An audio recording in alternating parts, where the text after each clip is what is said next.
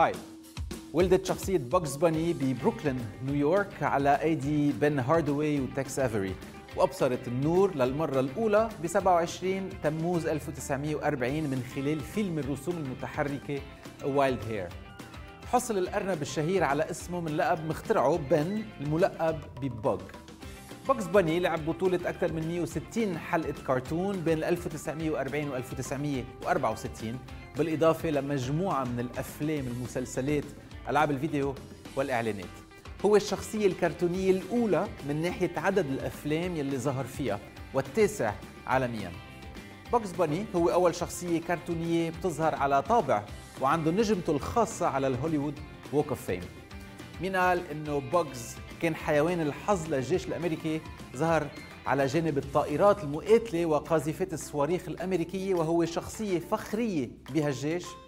أنا قال بشوفكم بكرة.